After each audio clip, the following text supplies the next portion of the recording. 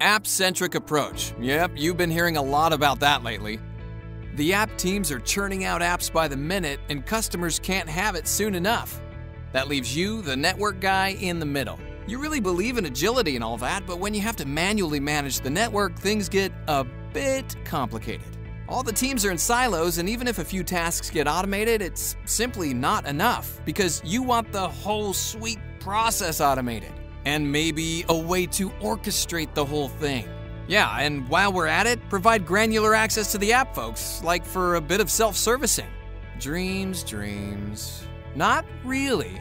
This is a reality thanks to AppViewX. AppViewX has it all because it's a vendor agnostic, application centric infrastructure automation and orchestration platform. Interested yet? Listen on. AppViewX gives you end to end application provisioning and visibility across layer 4 to 7 network components. We're talking topology view here, customizable dashboards, easy drift management, at all. Need secure access control? Integration with external AAA systems? No problemo. With AppViewX, build standard configuration templates, self-serve application deployment, achieve change management automation tied to a workflow engine, yeah, complete automation. Not just that, easily orchestrate changes on app delivery infrastructure.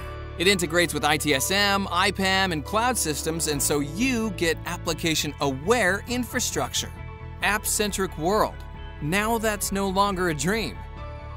AppViewX, application aware everywhere.